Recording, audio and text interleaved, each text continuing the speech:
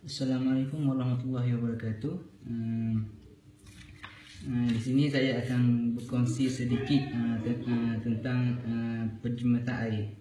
Okey, uh, air merupakan aset penting untuk kita. Tidak kira di mana kita berada. Kita amat uh, memerlukan air kerana uh, air merupakan sebahagian daripada kegunaan harian hidup kita. Tanpa air, apalah kita? Hmm, walau uh, walau bagaimanapun uh, sejak kebelakangan ini sering terjadi terjadi pembaziran air uh, disebabkan uh, adanya orang yang tidak bertanggungjawab yang tidak menghargai kelebihan air yang ada. Uh, oleh itu uh, sebab itu saya ingin berkongsi sedikit tips-tips untuk uh, menjimat air. Okey yang pertama kita seharusnya sentiasa memeriksa pipe untuk mengetahui uh, berlakunya kebocoran ataupun tidak. Uh, yang kedua, uh, kita mestilah sentiasa menutup air ketika memberus gigi ataupun membasuh tangan ataupun ketika uh, basuh pinggan uh, ataupun dah banyak lagi. Uh, okay. uh, seterusnya, uh, kita seharusnya uh, menggunakan mesin basuh jika uh, muatan uh, penuh. Uh, in, dengan ini kita dapat uh, menggunakan uh, uh, penggunaan mesin uh, beberapa kali. Uh, uh, Okey, seterusnya uh, setelah kita seharusnya menggunakan baldi untuk membasuh kereta. Uh, ini dapat uh, menggunakan air ketika um, basuh. Okey. Uh, uh, uh,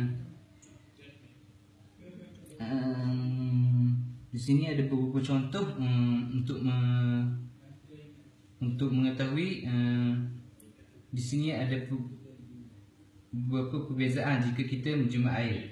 Uh, contoh, uh, contoh yang pertama ialah ketika kita mandi. Selalunya uh, kita akan mengambil masa 10 minit uh, dan memperuntukkan sebanyak 1 liter.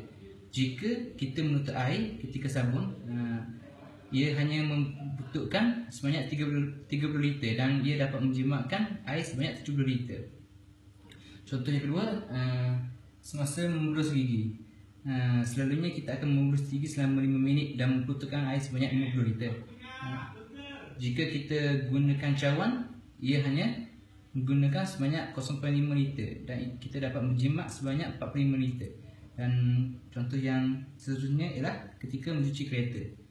Uh, mencuci kereta akan mengambil sebanyak akan mengambil masa sebanyak 20 minit uh, dengan menggunakan air sebanyak 200 liter. Uh, jika kita menggunakan baldi ketika basuh kereta, ia hanya menggunakan 50 liter dan kita dapat menjimatkan air sebanyak uh, 150 liter. Okey, kesimpulannya kita seharusnya um, menghargai air di sekeliling kita. Uh, dengan air kita dapat uh, meneruskan uh, meneruskan keperluan harian kita. Uh, Okey. Uh, sekian terima kasih.